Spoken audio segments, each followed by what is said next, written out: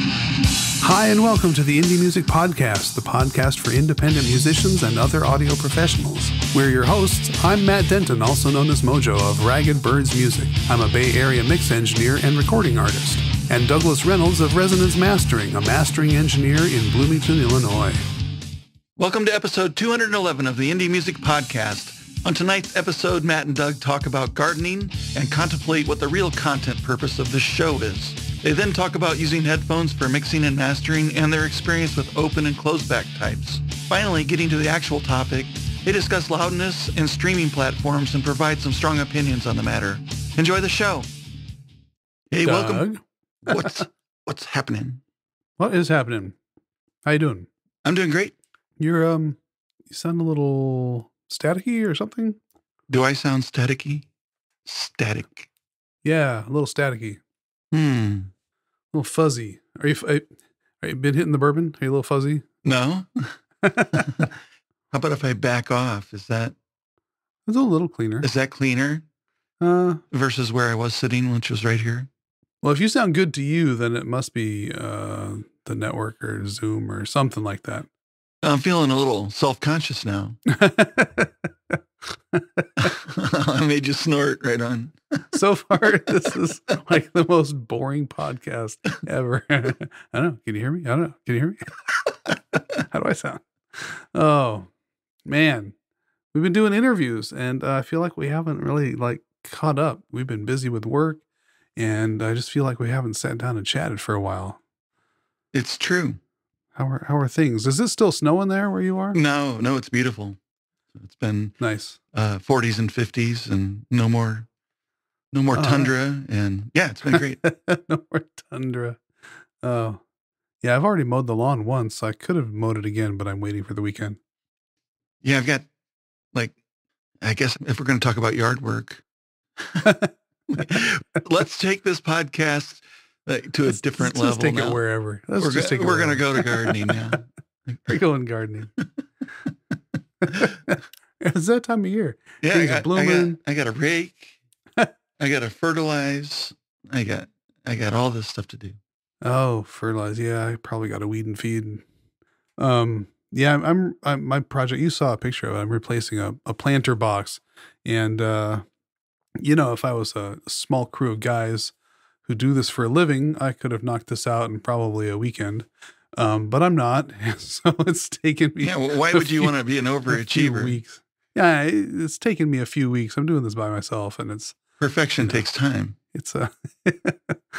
uh let's not get my hopes up there. Uh You know the uh, be I just it's like this all this old rotted wood I've ripped out and I'm putting in uh, nice new stuff. It's been kind of a design build project where the scope has a little bit changed as I've gone along, which is part of why it's taking so long. you kind of build it and then design it.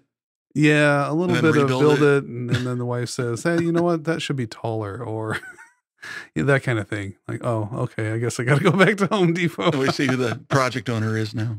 yes, well, I thought that was always clear. I just, I just take direction, you know, and not very well. So what were we talking about tonight?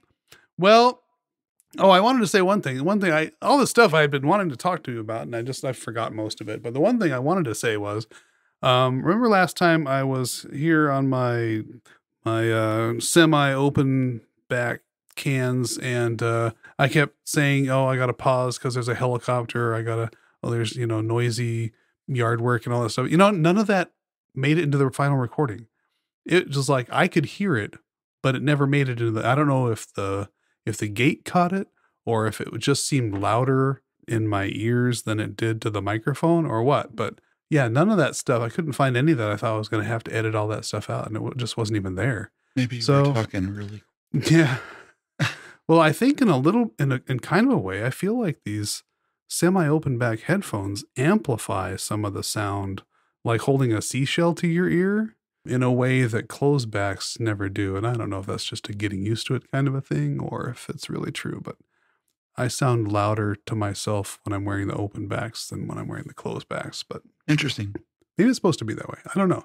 Anyway, point is, I all the know. stuff that was really loud to me just never made it to the recording. So the whole I, I'm open back less.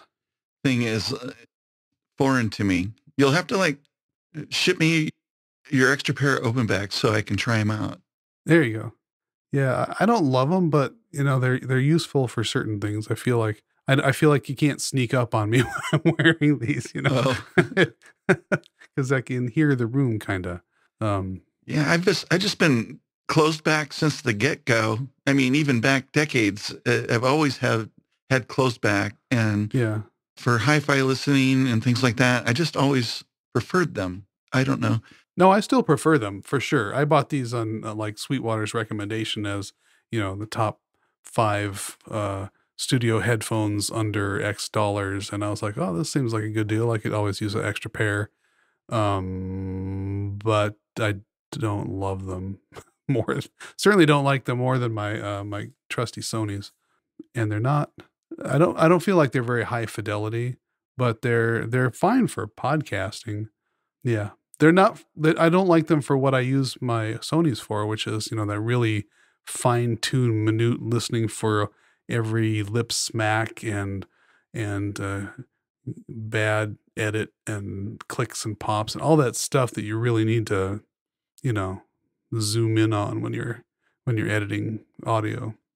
Would you say that you use headphones in your mixing the majority of the time? Um, in the past, uh, it was exclusive, and now I'm about 50 50. I trust my ears with these Kalis a lot more than I did at the outset.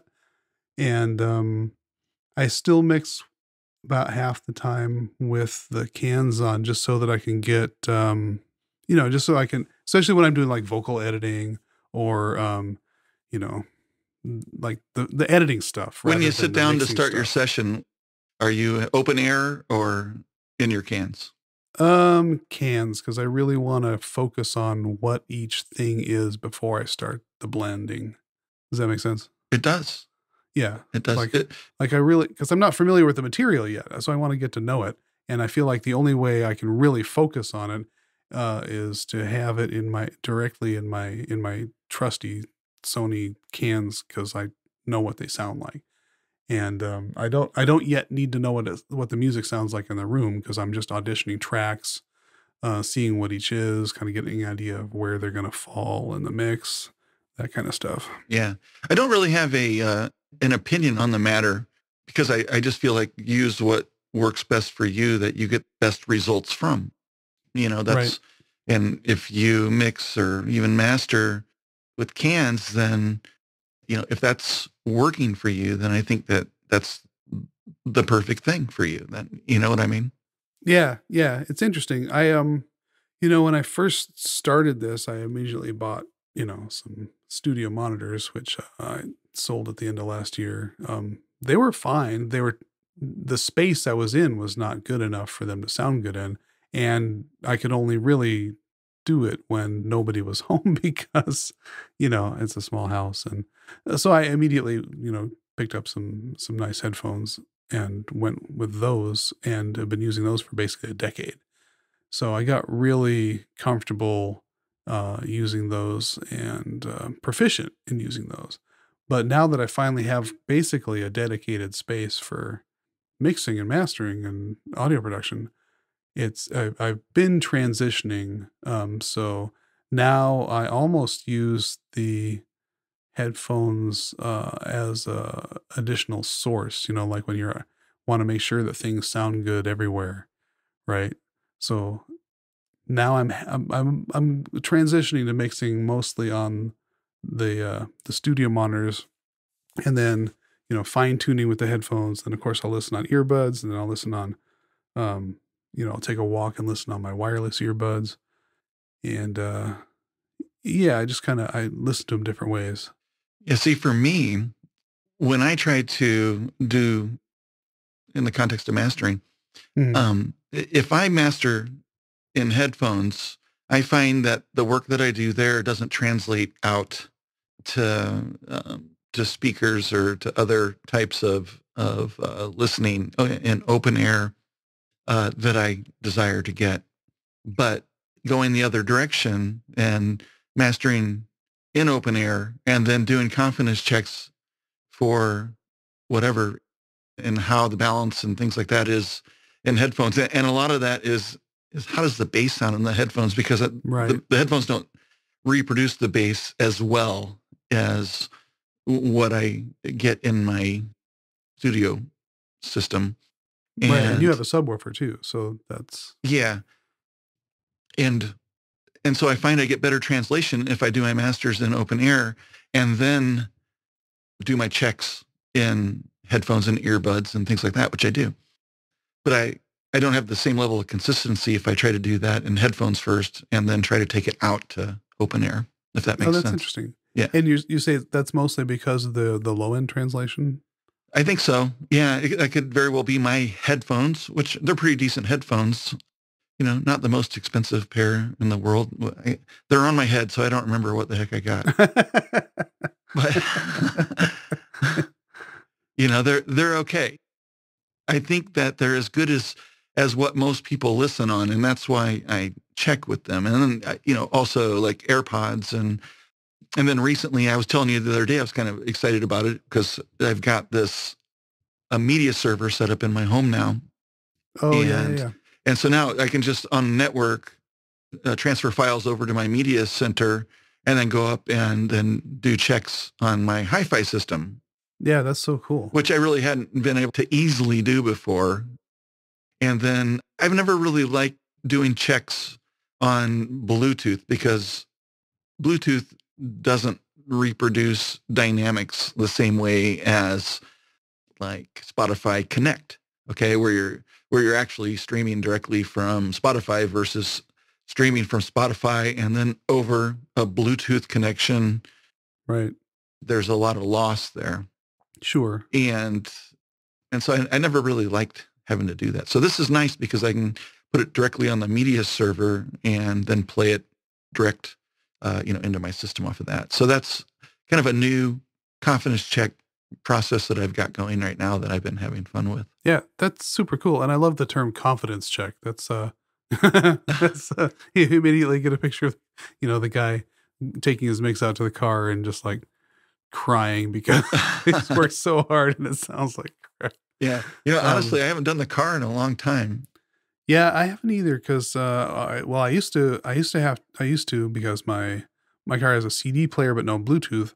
I would basically do like you know three mixes, you know like a vocal up, vocal down, um something else and then I'd burn them onto a CD, take them out to my car and listen to them and go, okay, this one needs some work. Okay, that one sounds pretty good. Okay, that one, you know, and I don't now my computer doesn't have a CD burner.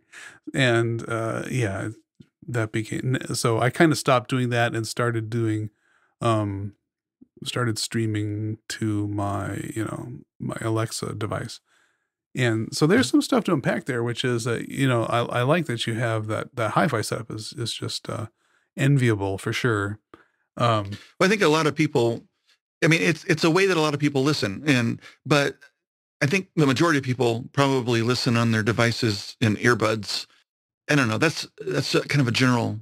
Yeah, well, that's what I was going to say. I, mean, I think most people do stream from Spotify to their phone to their Bluetooth earbud, and yes, that's levels of degradation and levels of law. Although I, you know, Yeah. I don't, you know, I know what the music's supposed to sound like. I mean, Judas Priest sounds like Judas Priest, and it sounds pretty good coming over Spotify into my earbuds. Right. Does would it sound better on a hi-fi? Yeah, I'm sure it would, but it sounds it sounds Or it could sound worse. Or because on a highly resolving system, it might reveal more than what you're able to hear on yeah, a less resolving system. You know, so that's why I want to always do these checks on highly resolving systems. So my, my studio is different. It's it's designed for critical. It's not forgiving. My hi-fi system is. It has color to it, and Mhm.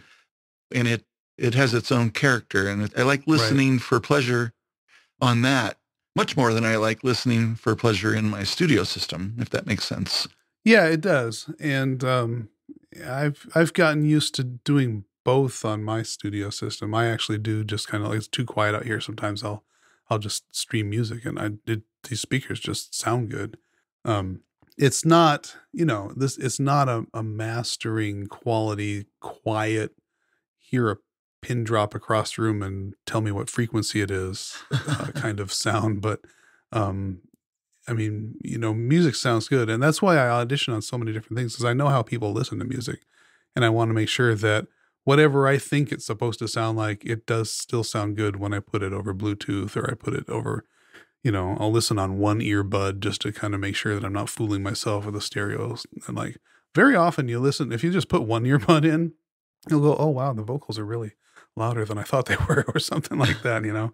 Um, it's like, it's like auditioning in mono, but not. And I don't know what the difference exactly is, but, um, I will, that will reveal certain things that, uh, about that, um, putting your two bus in mono does not reveal, in, Yeah. in my opinion.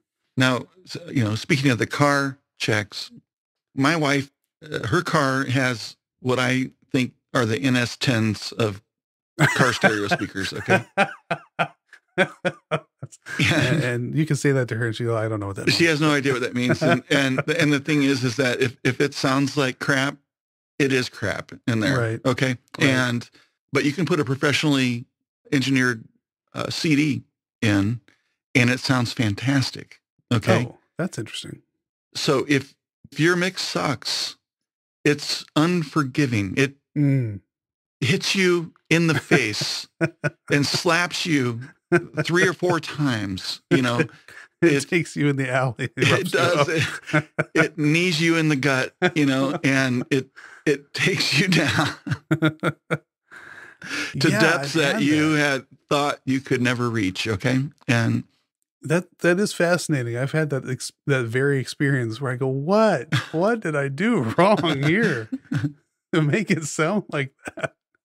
And so, you know, and thank goodness that we've had that horrible car stereo Yeah, because when it's right, it's right. And it definitely rewards you for that too, you know? So I spent a lot of time in that car. I haven't been doing that for a while now, but mostly more on mixes when I was mixing. That's where I was spending my time Yeah. in the car. Um, but yeah, so it's, you know, the whole idea of translation is really important to me and course. the work that I'm doing. It's, it's kind of an expectation, you know. I think in the mix, in the you know, in that's intended to be masters or pre-master, translation isn't the big thing. It's more balance and how everything comes across in the mix and and the quality of individual tracks and you know how they're presented and and staged in the in the stereo field and things like that.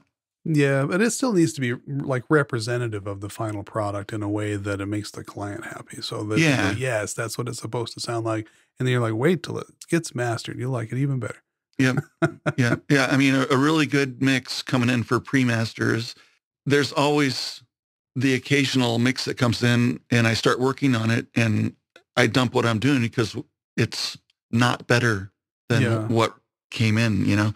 Oh, that's interesting. And I do get that, and I love it when that happens because you know, game on. Okay, challenge accepted. Challenge accepted.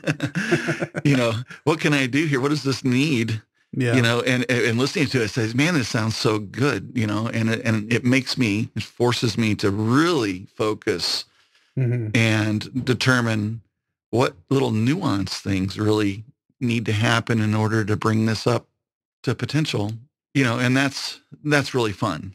There's well, let me no ask you. no corrective work in that. It's all trying to work with enhancement. Yeah. So when you get to that point, when it comes in and it's so close and it's so good that you barely need to touch it, what are you looking for at, at that point? Because it probably already translates well. So are you looking for um, some additional, um, you know, vibe to add? Are you looking for just like the merest of how can I make this sound uh, like the best commercial quality it can? Like bring the kick up just a little bit. Bring Yeah, that that type of thing. Uh, I might do some some analysis on it and take a look at what's actually happening in a visual aspect, Mhm. and to help identify and get my ears focused into certain areas of the song. Where if I see Mhm. some uh, some really high peaks happening in you know, like the 80 hertz range or something where the, uh, you know, the bass and the kick and how they're interacting together. Right. And, you know, maybe it's a nuance thing looking at and using visual tools to um, help focus where I want to listen can help with that a lot. And uh, I think depending on genre, there may be other things like you said with vibe and stuff. So maybe maybe you know depending on on the style of music, adding some transformer, some tape saturation, oh, yeah. um, some some things like that to to give it warmth. You know, maybe it's like really great, but it's just kind of um, uh, what, what's a good word? It's just kind of sterile in a way. Right, right. And maybe bringing some imperfection into it in a way of yeah i find that can be true of, of digital productions yeah like they'll they'll yeah sterile is a good word because uh, it's not that they're not you know technically good but they just lack a little bit of yeah warmth or again sometimes you get stuck trying to talk about sound with words and it doesn't quite do it justice but you know it when you hear it yeah i mean i'm a big fan of of saturation uh, from transformers Yes. And I think that that sounds really good when it's done well. It's done lightly and that saturation just kind of adds to the overall warmth and vibe of the song. Uh, again, that's genre specific. I think that works really well with quieter, really dynamic songs mm-hmm. that could be in folk or blues or uh, you know jazz or if you you know if there's something that you want to give kind of a you know maybe a uh, kind of a classic analog vibe. I was trying to avoid the word analog, but it's really what we're talking about. You know, yeah, it is ironic when you want to say because I mean I feel like that's my wheelhouse is the analog vibe, but I'm working completely in the box, so analog has nothing to do with it. Yeah, but I know what you're talking about. I know what you mean. Yeah, there's definitely stylistic things that you you know you could do there, but and then obviously you know the what everybody expects is is that you're going to be working with loudness, right? And which finally brings us to our topic. Yeah, that we were going to uh, actually talk about. And I um, yelled although earlier this is trying good. to get this is it. good. this has been good so far. And then I talked really quiet, and yes, and no one caught on. Loudness. I felt well. Like, I oh, no one meeting me. Yeah, no, I was just listening for the static. Um, you had kind of an analog fuzz fuzz vibe going on. Maybe my transformer's still on. Maybe it's a transformer problem. um, yeah, we were uh, we were having a discussion about uh, how, and I and I went this way after a brief period because there was the whole oh for Spotify you want to you know minus fourteen LUFS this should be your target and you know minus twelve if you have to or maybe make two versions one for if they're going to do a CD and one of the and uh, you know I I'm people say what they want about Spotify but I just find it really it has all the stuff that I like, and I stream it all the time, and. I take walks and I work out with it. it sounds and, like it's going to uh, be getting know, better too. I'm on the family plan, so it's cheap for me. I don't, yeah. you know, I'm, it's like one monthly fee, and four four or five people in my house can listen to it on their own account. Yeah. Anyway, yeah, I'm running. Um, we're running a Spotify family plan here, and then yeah, I also have totally a I, I have a Tidal, the Hi-Fi with the the mastering quality account. Oh, cool. I use that for well personal interest because I, I want to have a solid experience opinion on high quality streaming yeah. services. And I also have clients who have published works out there and I want to compare how their work sounds on Tidal, you know, master quality versus Spotify yeah. and, and things like that. That's that's smart. I've never I don't know anybody who's on Tidal and I've not listened to it. Um, I do know people who are on Google Play and prefer that. Mm-hmm. I do listen to music on Bandcamp all the time. Um, I'm really happy with both. Uh, the, the thing is, it's it's not necessarily okay. Opinion time. It's not really necessarily better, in my opinion, than CD quality audio. Okay. Okay. And maybe it's not better than CD quality audio. Um, and, but I don't think CD quality audio is as good as playing on vinyl. And so maybe that'll raise some eyebrows here, you know, but there's that warmth again. There's that right. whole thing around the experience of vinyl, you know, and, and music to me as a, as a listener is, is it's an experience thing and it's an emotional right. and it's an mm-hmm. involvement mm-hmm. thing, you know, and I, ever since CDs came in, it was it was removing involvement from listening and making listening more convenient. You know, and then C- Yeah. CDs promise to have higher quality, but that's it's subjective. You know. Yeah, I feel like there was um there's there's a difference between fidelity and pleasantness. Yeah. You know what I mean? Um you remember when CDs came out and uh I guess this probably happened with DVDs too, but uh you'd look for the little you'd look for the little three letter code.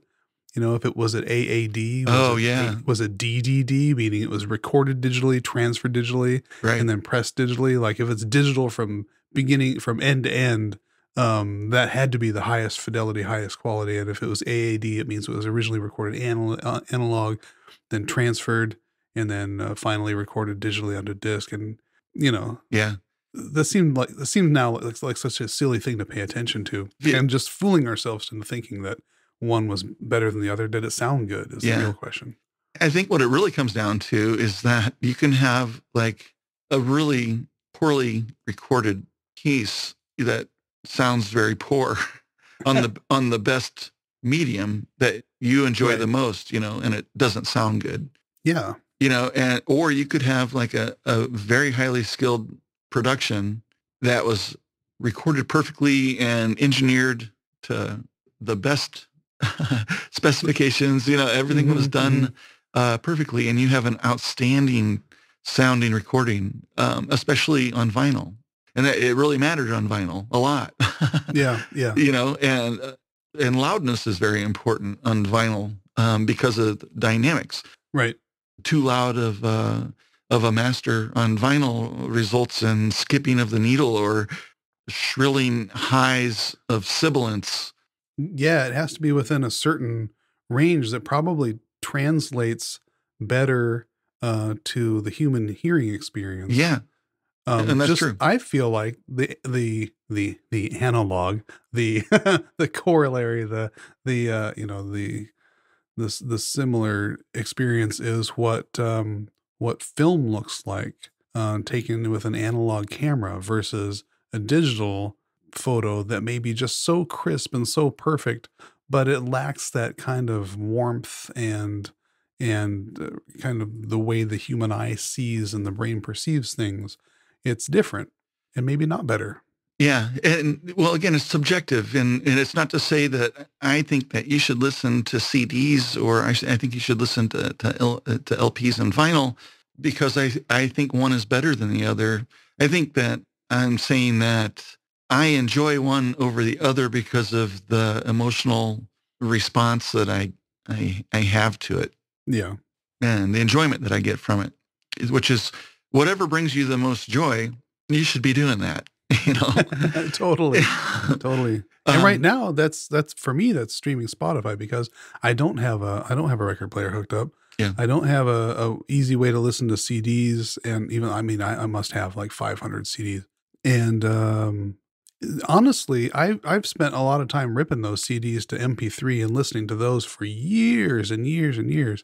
And uh, it's, to me, Spotify sounds better than MP3s ripped from CD, even if they're good quality MP3s. Yeah. And I'm, I hear things in songs that I've listened to for a decade that I never heard before.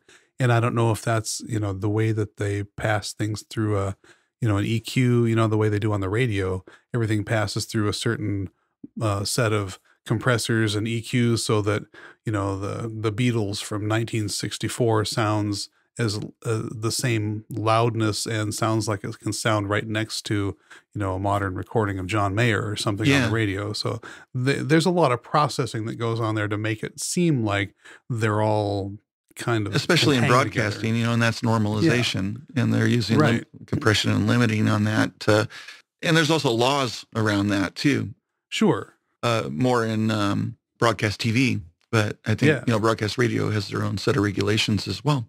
Yeah, what I'm saying is that, that basically the streaming services are the new broadcasting.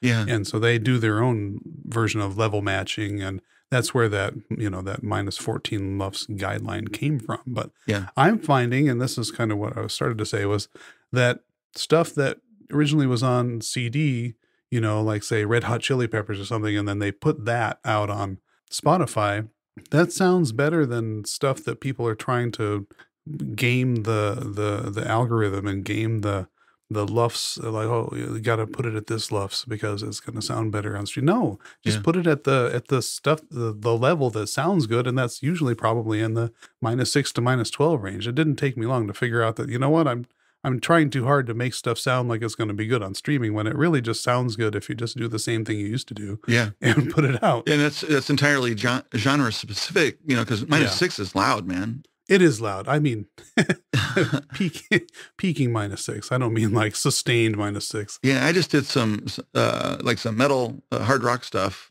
and I decided to go for it, you know, and I ended up about you know five point four in that neighborhood, the final Mhm. master, and the music it worked really well for that genre of music. If I tried to do that to some funk or soul or folk or something like that, it would trash it.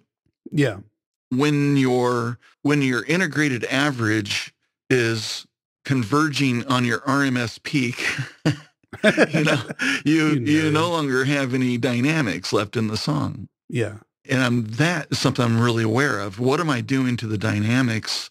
Because the dynamics make the whole they make the whole song, they make the whole vibe and how it feels, you know. And if it's all Yeah. leveled off, and I know that there's mastering engineers out there, real popular ones that talk about, yeah, if you can't get a you know a song loud without losing dynamics, then you suck as a mastering engineer, you know. And the, you know, honestly, they can kiss my ass about that, okay? Because because you know that's that's hype, that's uh, commercial uh, competitiveness, okay, and it doesn't have the the song is the most important thing in in the uh, in the mastering process, in my opinion. Yeah, I agree. And boy, it's fun, funny to hear you get fired up about something. ah, kiss my, kiss my ass.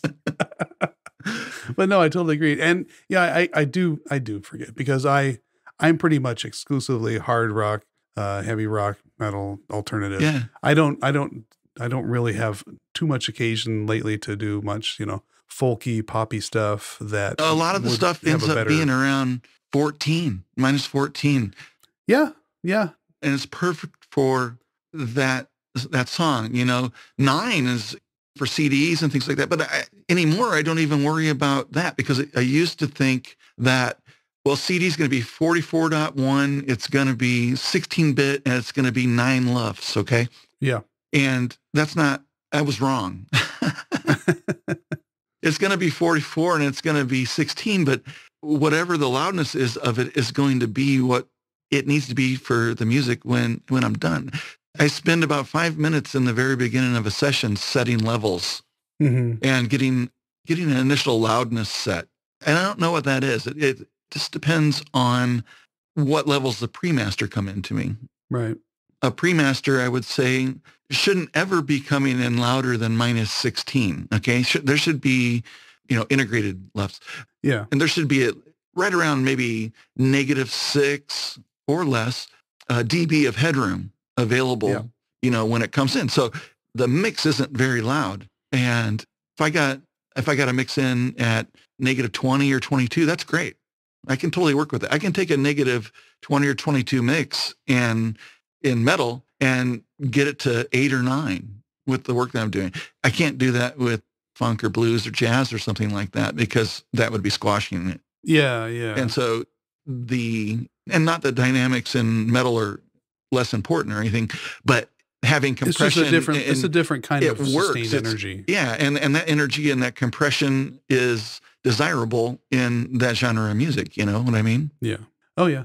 And I think a lot of the uh, the mastering engineers who are talking about squashing dynamics and things like that, you know, and come to think of it, they're they're all mostly metal and hard rock that they're talking Right. about, and and that is just one area, and there's one type of process application to the genre. So I think you need to work with, you know, if you're a mastering engineer or a mixing engineer who's working with lots of different genres of music, then there's going to be lots of different aspects to how you treat that music when in the context of loudness and how you achieve it and Yeah. what's appropriate. Yeah. Well, if you're paying attention, if you're good at your job, like legitimately good and paying attention to the program material, making sure that you are serving the song as always is, is our mantra. Serve the song. Song is king. Yeah. So anyway, Yeah, I totally agree. I haven't had a concern for what the heck Spotify or anybody else is saying that their integrated LUFS specification is for over eight months now. I don't think I've cared. Yeah, I haven't either. And you know what? I don't, it's not for me, it wasn't coming from them. It was people, it was like, you know, all the advice that you hear on the internet from even respectful, you know, respectable sources um, go back and forth. I'm not going to name any names right now, but I know you know who they are. You who will who will give recommendations on you know loudness and recommendations on you know just your RMS and your LUFS and your peaks and your stuff. And it, it is one genre dependent and two um, it matters less than than they say. I think that sometimes people just want to make content for you to hear and they'll backpedal that stuff 6 months later. But, yeah. you know, in the end, it just needs to sound good and it needs to translate across um, different speakers and and whatever people are listening to. Yeah. And I'll tell you what, a song mastered and done well at nine LUFS or louder, this stuff that I just did at, at 5.4 or whatever it was, it sounds good on Spotify. Yeah, that's what I'm saying. And yeah. and Spotify isn't crushing the dynamics of the song because it's too loud. It isn't no, doing any of these things that everybody warned us would happen if if you didn't get this, you know, your loudness set at negative 14 or negative 12 at the most for Spotify loud because they have the Spotify loud thing, you know. Yeah. Then you know, your music's going to sound like shit on there. And I can guarantee you that is not the case. Yeah, that's that's what I'm saying. I listen to Spotify all the time, and this song sounds good next to that song, and it sounds better if it came from a CD. It sounds better if it came from you know the uh, what was pre pre Spotify advice for for LUFS and and RMS and so it was probably pre LUFS in fact. Yeah. Um, it it does sound better because it was just mastered to and mixed and mastered to sound good. Yeah. Wherever, usually, you know, where was it the radio? Was it CD? It didn't it didn't really matter. But yeah, the advice coming out was that if it wasn't if it wasn't 14, then they were going to turn it down and it was going to be quieter and you were going to your music was going to suffer compared to the commercial stuff. Well that's just yeah. not true. Well and what what they were really doing and i don't actually know where that was coming from. I don't think it was coming from the platforms. No it wasn't. Was that if you come in too loud they're going to apply compression and it's going to mm-hmm. squash your product uh, you know that your your your music that you're releasing and and it's going to reduce um, the quality, and it's it's going to sound awful. Yeah, and it struck fear into everybody, and so it's all oh my god, you know. So um, uh, Apple they want negative sixteen and you know minus sixteen LUFS, and Spotify wants uh, minus fourteen or minus twelve, and then uh, but YouTube doesn't care. You can go as loud as you want, and you know, right. uh, SoundCloud doesn't care, but we're not actually sure um, because they might have something, but nobody knows. And so it's like, how many versions are you going to yeah. produce? I used to do that. I used to have like a negative 16 for Apple and a and a negative 14 or 12, and then I do mm-hmm. like a um, a negative nine for with a 44.1 16-bit version in case clients wanted to go to CD. Yeah. Or to, they could use that one, you know, wherever they wanted that they wanted to get their loudest master on, you know. But yeah, I don't I don't do that anymore. Yeah, I did that briefly too. No, I had a like here's your minus 14 for streaming and here's your minus 12 for CD or wherever else you want to put it. And uh, yeah, that was a brief period that and I realized quickly. Yeah, I mean, of course I do on request. You know, if if you want a particular loudness level that oh, yeah. doesn't hurt, you know, I mean, obviously if we're going quieter, if you want a quieter one, sure. You know, um, I'm usually going as loud as I think I can get with the song. I mean, that's my, my goal is to get the song as loud as I can without causing any damage the to the song. Yeah. yeah. So, so yeah. to get the loudness out of it and music sounds better louder. And I agree. Although there's a volume knob for that. Yeah. You know, and, but the thing is, you know, at, at minus 14 or minus 16, you used to have plenty of volume knob to get it loud, you know, so it's, it's, it still works. Yeah, I will tell you though, and this is this is the thing that everybody seemed to ignore who was giving advice like that. And this is why MP3s were so popular uh, was because when you're jogging, when you're in the gym, when you're working out, when you're driving in your car, none of those are quiet environments. You want to be able to hear the music over whatever else is going on around you when you're listening. it needs to be kind of squashed. It needs to be kind of compressed. It needs to be kind of loud um, from the get go and not have like these, you know, classical music passages where you just simply can't even hear what's going on for minutes at a time. That just doesn't fly. Yeah. But when you're home and you're on your highly resolving system, it needs to sound amazing, you know? yes. I don't know how many people do that anymore, which is why I envy you that luxury. Um, I will say one more thing. This uh, is because I just did this yesterday. I uh, just as a test, I had a I, I was mixing a song where all the uh, all the stems, all the tracks were came in at 44 and 1. And um, I just wanted to test because I figure, okay, this somebody else is going to master this, so I'm gonna I'm gonna bounce this out at and um, upsample it to 48. So it was 24, 44 1, and I wanted to, and I decided, you know what? I'm going to try this both ways and see if I can tell a difference. So I bounced it out at 24, 41, 44 1, and then I bounced it out again at 24, 48 with um, dither, and it was noticeable. The the four, even though the even though the stems were 44 1, and even though it was umps, upsampled afterwards, uh, the the 48 um, K one was noticeably like wider and deeper, and um, I want to say it was a little louder. Huh. Does that make sense? You don't think that was my imagination? Well, I would only add dither on downsampling personally, um, because that's when you're losing information, and uh, so you've got uh, basically in, digital you've got gaps in data, Right. and and then the pro- the dithering process actually adds noise Correct. back in to fill those gaps that were made in that lossy operation of reducing. Right. Right. Right. Um, but on upsampling, there's no reason to do that. Uh, it could be that you were hearing dither noise added into the 48 version. Interesting. Could be. I don't know. What I do is what you send me in uh, sample rates and things like that is what you get back. But Right. if you send me a, a high resolution, then I'll, I'll, I'll master it in high res for you. That's how I do it. But the only time that I do any uh, changings for samples or anything, if you sent me a high res, but then you also want, you know, for you also want it to be produced onto CDs, then I, that's when I. That's the only time really is when I downsample and dither to to bring it down into CD format. Yeah, because most streaming services, I mean, most uh, aggregators like DistroKid and CD Baby, they all want 2448 anyway. Actually, CD Baby won't accept anything but 4416. oh, really? Yep. No, I didn't know that. And I just ran into, I couldn't believe it. I, I provided, it was a 44.1, 24-bit is, was my rendering Yeah, for a recent client, and they were unable to upload it to CD Baby. I was like, what? really? And I, I was like, I can't believe it. There's nothing wrong with my render. I don't, you know, it's playing great. I don't know what the deal is. So I went out to CD Baby and uh, I was reading their documentation. I think this might have been a recent change, and they are now only accepting uploads for 44.116. Interesting. That surprises me because I even I know Apple's like asking, you know, selling people that they prefer 2496. I'm like, I'm not doing 96. Yeah. That's I mean, I'm happy to accept. Yeah, yeah, send me over a 96. I can do that. I can do 9632. You know, so whatever you want. I can double that actually. No one never sends me. I get 40. I, I get 41 24 is 98 percent of the time.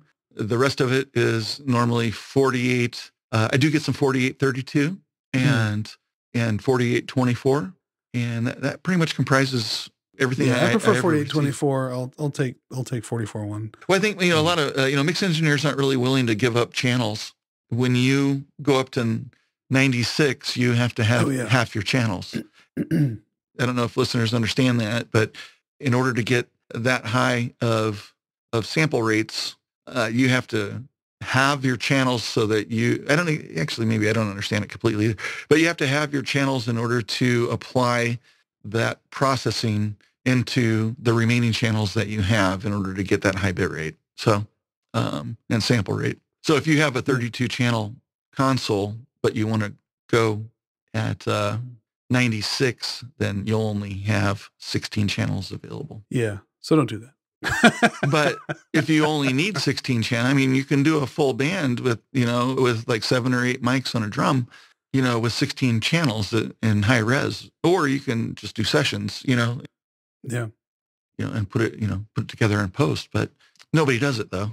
Nobody does it. Not now, anyway. Just keep it to 48. I would like to To because I 44, mean, it would be really nice to um, qualify for Apple Masters, you know, Mm-hmm. What is the MQA on Tidal, you know, and things like that. Um, you know, because at 4416, I don't think that that qualifies for Tidal uh, master quality. I don't think. Got it. I might be wrong on that, but I don't think so. I'll have to look that up. But no one, Well- no one to date has asked me for that. So well, Let me know when they do. I will let everyone know. I think, I think, I think we have an episode in the bag now. We can, and we can probably like delete like the first 10 minutes and get this back down to a Yeah, yeah. I feel like I'm about to run out of space here. Um, well, thanks, Doug. It's been great catching up. Likewise, hey, have a great Th- rest of your week. And listeners, you thank too. you so much. Yes, thanks for listening. Thanks for tuning in. Yep. Uh, check us out where you can. Leave a review, uh, like us, and hit us up on social. And, and if you didn't hear it, leave a review and check us out on social. Okay. Because no one's leaving reviews. Now, come on. How hard is it? How hard is it? I don't know. I feel like I have an attitude tonight. You know, you know, give us a damn review. What the heck? He's all fired up. He's all fired. Go have some bourbon, Doug. Chill out. All right. All right. All right, Cheers, everybody. Take care. All right. Later. Cheers. Bye.